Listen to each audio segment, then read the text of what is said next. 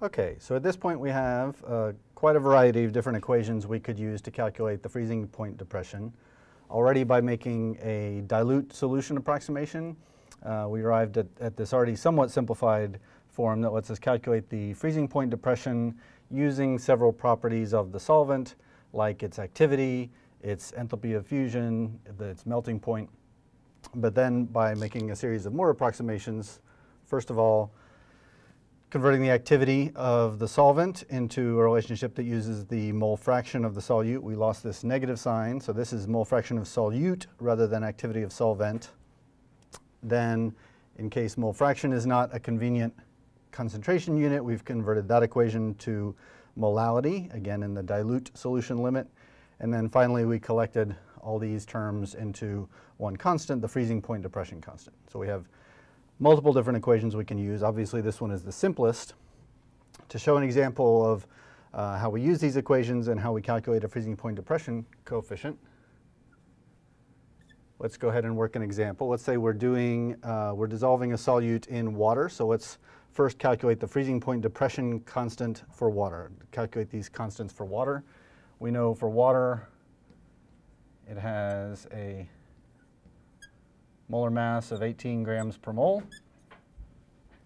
Its melting point under standard conditions is 0 degrees Celsius, 273 Kelvin, and its enthalpy of fusion is about 6 uh, kilojoules per mole of water that melts. So those are the constants that we need to calculate the freezing point depression for water. So the question is, what is that freezing point depression constant?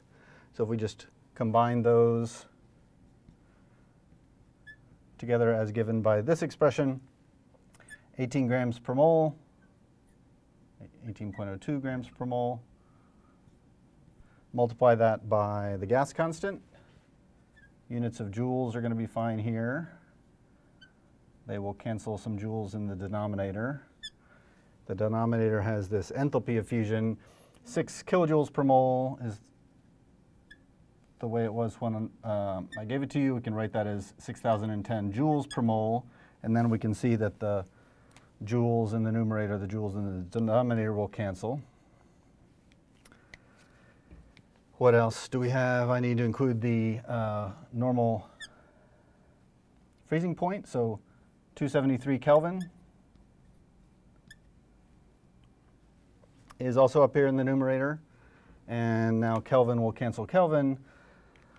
But we do have to think a little more about units because if we want this freezing point depression constant to uh, cancel some units in a molality, remember molality is moles per kilogram. So we've got units of a mass of grams up here. So we can also convert grams to kilograms. That'll leave us with our final result in units of, let's see, we should have a, uh, one of these Kelvin canceled one of these Kelvin. We still have one left over. We have a moles in the denominator, and we have a kilogram in the numerator. So if we combine all these numbers, divide by 1,000, the result that we get is the freezing point depression constant for water, 1.86 Kelvin kilogram per mole, or if we prefer, since a shift in the freezing point of, of one Kelvin is the same as a shift of one degree Celsius, and a mole under kilogram in the denominator, that's like molal. So freezing point depression constant for water works out to be 1.86 degrees Celsius per molal, same thing as 1.86 Kelvin kilogram per mole. So that's a number you have, may have used before. You probably have used before if you've done freezing point depression calculations. But now we see where that freezing point depression coefficient comes from. It comes from the various properties of water as a solvent. If we want to see what that type of calculation is good for, let's, let's do an example of the, actually calculating the freezing point depression for an aqueous solution. So let's say we have a, let's use a 7% sugar water solution. So by mass, 7% water and 93%, I'm sorry, 7% sucrose sugar, 93% water. So I'll use an, a solution with 7 grams of sucrose, 93 grams of water, and sucrose has a molar mass, that's some information we're going to need, of 342.3 grams per mole.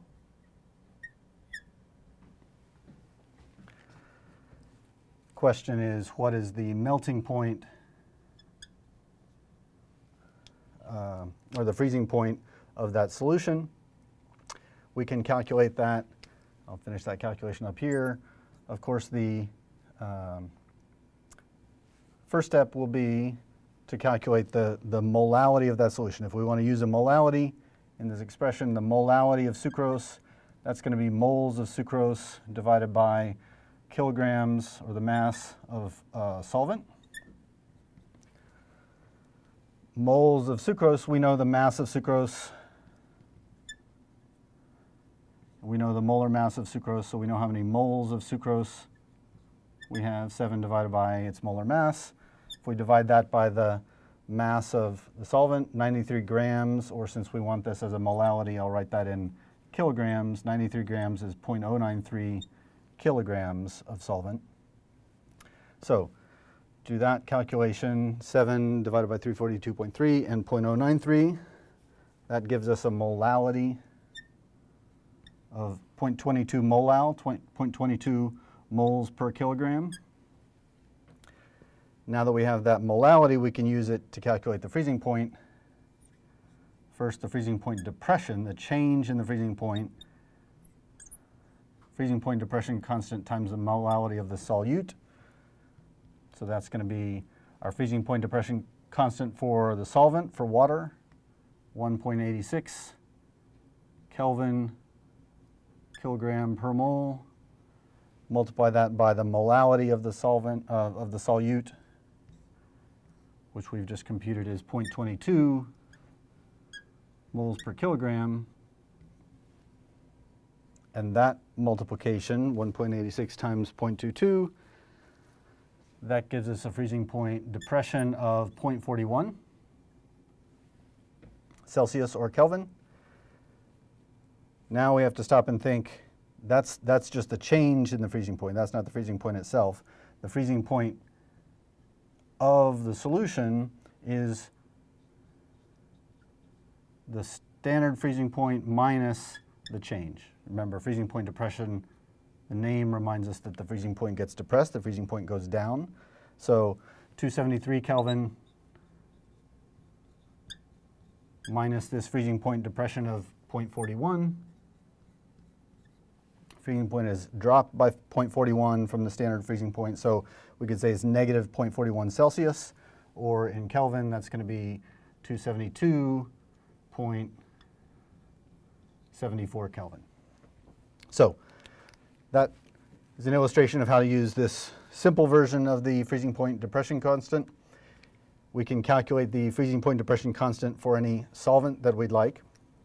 Uh, the, the next step will be uh, the, everything we've done for freezing point depression, we can also do for boiling points as well. So we'll move on to boiling point uh, modifications next.